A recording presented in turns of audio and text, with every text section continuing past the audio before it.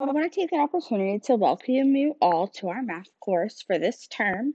And to do that in the most efficient and friendly way possible, I've created this video to go over a couple of the main features within the course, as well as to tell you a little bit about myself. So, is Professor Robinson? I am a doctoral candidate at Liberty, so I'm getting ready to enter for my final defense.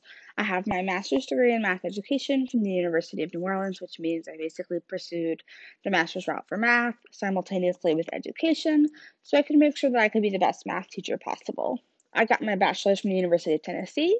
I've been teaching online math for a little over 12 years now. Um, I own my own consulting business where I consult with STEM fields. So I do building curriculum for math, science. Um, I also work with accessibility. And I also do some statistics consulting and work basically as a mathematician. Who am I as a person? I have um, I have a family with three kids. Um, we love Disney cruises, as you can see from our pictures. Um, my middle child is a dancer. My oldest son is an elite swimmer and actor, and my youngest is a very, very gifted artist. So at any given point in time, I am either at the pool, at a dance competition, or even possibly at an art studio. Um, I'm an, an, avid reader. I really enjoy reading. Um, we love Harry Potter, and we're also Disney Cruise obsessed. That's our vacation of choice. So, what can you expect in this class? You can expect a lot of interaction. So, even though this class is online, in many ways, it's more important for us to interact because it's online. So, you want to be ready to ask questions and work as a class. So, in the discussion forums, I want to see you actively posting and asking questions and getting clarifications on something you might have misunderstood. Even though it's an online class, this is a team effort and it's a collaborative effort, and that's how you're going to get the most out of this course. You will see videos posted throughout the course. Some of them are embedded and there's extremely well chosen videos. And then you'll also see some pop in videos that I will make to supplement the course curriculum that will pull out different ideas that I think are important or we could use a little bit more practice on. You have a course that is very rich in resources. There are lots and lots of ways to get help within this course and lots and, lots and different ways to learn. So you can definitely choose your learning style and work according to it and we want to have a growth mindset. Attending second a higher education is all about learning and growing, and not just learning and growing by knowing formulas and other things, but learning to persist and to grow as a person. So I think that's a lesson that everyone walks away from every class in their higher education experience. How to contact me. I do prefer that communication goes through the course when possible.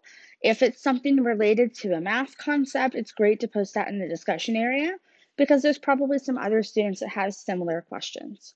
If you have grading questions, though, those should definitely be emailed because I cannot answer those in a public forum, nor do I want you to disclose that kind of information publicly. I am located on Central Time, so just keep that in mind as communication is coming.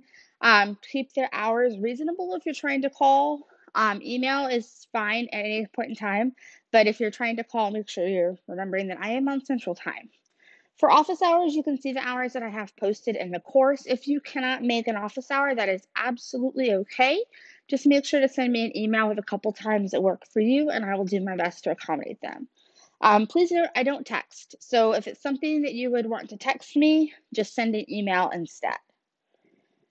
And I wanted to take a minute to talk about the My Math Lab tools. So if we're looking at the My Math Lab tools, there are a couple that I just want to highlight here. the first is Ask Your Instructor. So what does Ask Your Instructor do?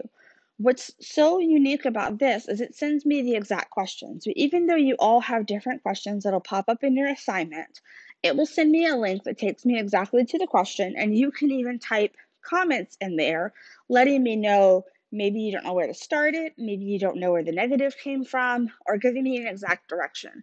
Then I will be able to reply to your email and get clarification. So be looking at the reply to come through email, not through My Math Lab.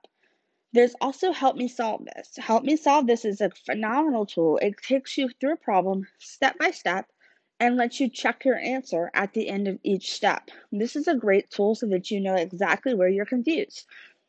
So if you're contacting me, you could say, I tried to help me solve this, I got lost on step three. That gives me a really specific place to know how to address your exact need. We also have an e-text available, and e-texts are really great because they do have some additional examples where you can follow the example in the textbook. So let's do this course. Let's commit to communicate, let's commit to participate, and let's commit to manage your time in the best way that you can. And I look forward to the next few weeks with you.